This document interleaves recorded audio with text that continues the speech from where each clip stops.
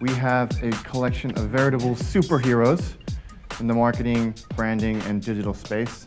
iStrategy is great because of the people that are that are here, the CMO, CEO, general managers, uh, the high you know status of the people uh, that are that are attending, which is which is great. That that talk to each other and share experiences. What I'm seeing here is a really super high level of professionalism. I mean, the way the uh, conferences are set up, the way they are moderated, uh, everything looks absolutely right so that uh, the speaker can actually de deliver his message and the audience can actually be a part of it. Great number of attendants. And I think what is attractive is that you talk about strategy.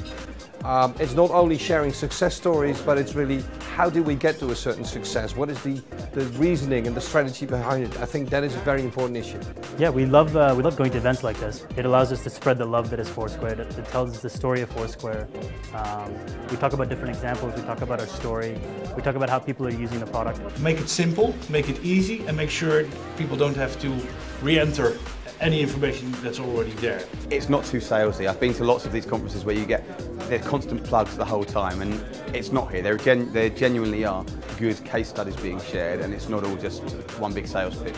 What uh, struck me is how interactive it is. All these people like tweeting and and, uh, and, and on Facebook and on Foursquare, and I think it's the first time that where I really see all this interaction um, uh, from from the audience. I think that having the co-founder of Foursquare is, is pretty amazing. I, I don't think you can have it uh, in in a lot of other conferences. So at the very core of it, it's a social utility. It's not a game. It's a social utility that gives you value.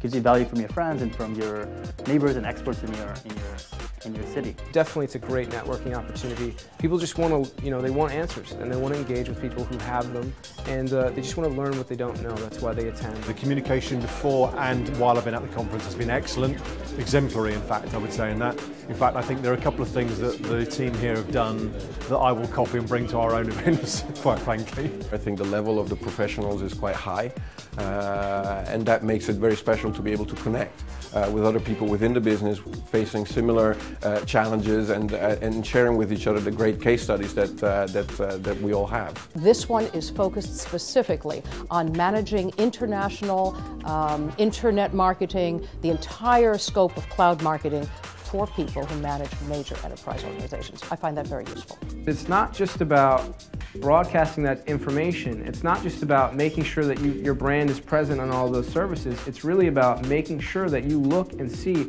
how are the users on those different services using them. What I'm looking for here is inspiration, and I think uh, everything is gathered so I can find some.